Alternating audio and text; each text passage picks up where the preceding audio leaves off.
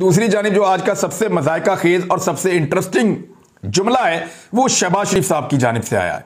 शहबाज शरीफ साहब ने वो जुमला कहा जिसने पूरे पाकिस्तान को हिलाकर रख दिया। शहबाज शरीफ साहब ने वो बात की है जिसने मुझे हैरान और परेशान कर दिया है।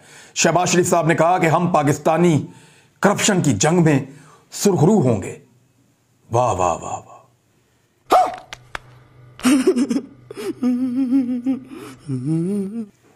शहबाज शरीफ साहब का वो बेटा जिसने सबसे ज़्यादा मनी लॉन्ड्रिंग की है, वो पाकिस्तान वापस आ रहा है। करप्शन के इल्ज़ाम इनके ऊपर आलमी सतह पे लगे हुए हैं, उनके अभी तक जवाब नहीं दिए। वहाँ अखबार के साथ सेटलमेंट कर दी कि जनाब, हमारे करप्शन के मामला के ऊपर हम आगे बढ़ना ही नहीं चाहते। हम इस केस को आगे चलाना ही नहीं चाहते, अपना केस ही वापस ले लिया वहाँ पे। मुकमुका कर लिया अदालत के बाहर। और कह रहे हैं, हम पाकिस्तानी करप्शन से जंग में सुरखरू होंगे।